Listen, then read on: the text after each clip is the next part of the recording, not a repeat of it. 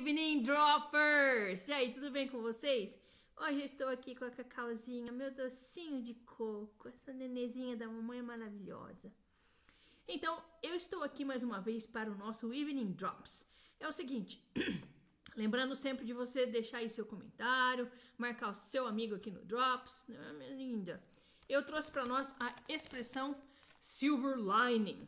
Silver Lining, hum, que é beijinho, significa o lado bom, o lado positivo. Na boca não, filho, não pode na boca, tá? Silver lining então significa o lado bom, o lado positivo das coisas. É, opa, sabe tipo Poliana que via sempre um lado bom nas coisas? Então, isso é silver lining. Então vamos aos exemplos.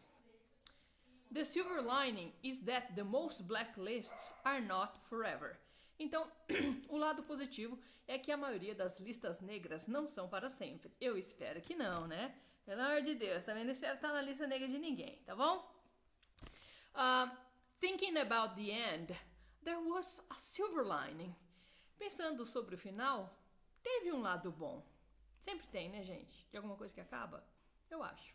There's a silver lining to every cloud.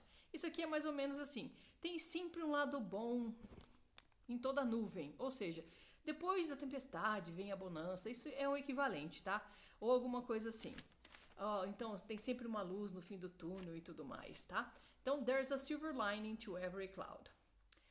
Uh, in this case, there's no silver lining. Nesse caso, não há lado positivo. Credo que pessimista, mas sempre há, eu acho. You're missing the silver line here, honey. Você não está conseguindo ver, você está perdendo aí o lado positivo, meu bem, querida, tá bom? Então, eu achei algumas músicas que se chamam Silver Lining, vou deixar aqui na descrição para vocês, e eu volto com esse descabelo todo amanhã para o nosso Morning Drops. E a Cacauzinha tá aqui, ó, maravilhosa, como sempre, tá bom? Um abraço!